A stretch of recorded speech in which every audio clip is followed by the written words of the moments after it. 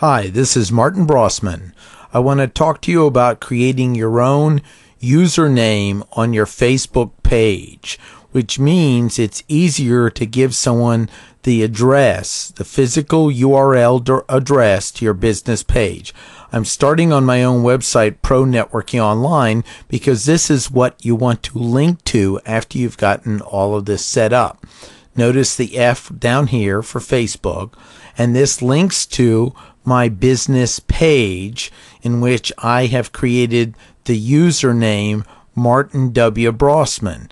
And if you can see, that's much easier to tell people.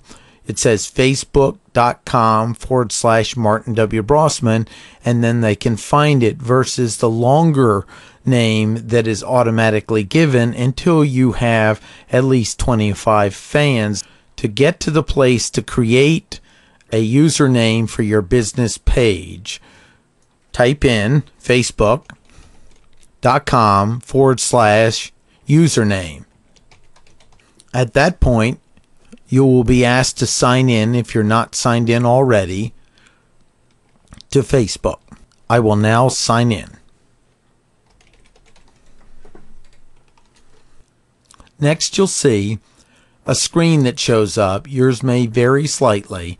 And this is the same screen you use to create a username for your Facebook profile as well as your business page or fan page. Now, if you've been in my classes, you know the difference between a Facebook profile, which is your private and needs to be personal, not business, and then your business page. So I've already set up my Facebook profile with my name, Martin Brossman. Facebook.com forward slash Martin Brossman. Now I'm going to set up a, a username for one of the pages that I'm an administrator for.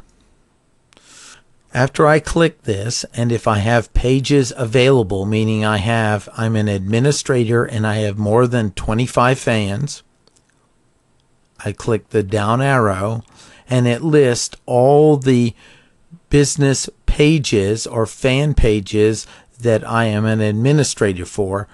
I'm going to pick my new book here. Do you see that? The current title is Brossman Social Media and Online Resource Directory for Business. Wow, that would be an awful long thing to type in. So we'll click that. And then there's a little box underneath it where I can put a name in.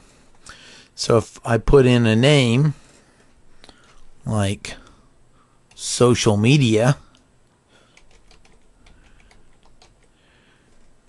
and we check for availability, we notice social media is not available. No problem. We just think of another name. So I'll put in social media for business. Let's see if that's available. Social media for business is available. Please stop here and make sure this is exactly what you want. It's a one time shot. And think about it again before you hit confirm. You can't change the username for this.